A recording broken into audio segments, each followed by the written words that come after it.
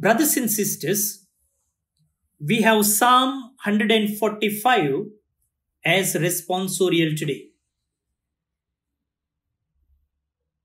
It is both a reminder that God is gracious and compassionate, and also a call to return praise and thanksgiving to God for all that God has done. All God's actions are demonstrations of how much God loves and cares for people.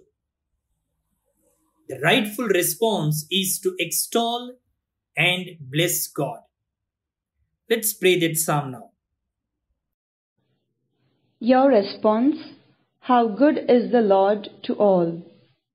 How good is the Lord to all! I will extol you, my God and King, and bless your name forever and ever.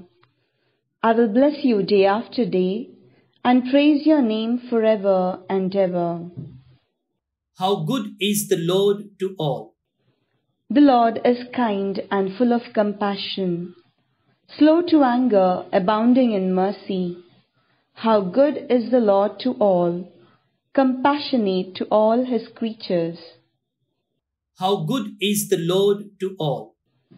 All your work shall thank you, O Lord, and all your faithful ones bless you.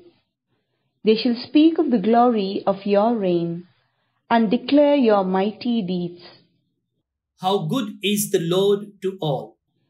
Glory be to the Father, and to the Son, and to the Holy Spirit, as it was in the beginning, is now, and ever shall be, world without end. Amen.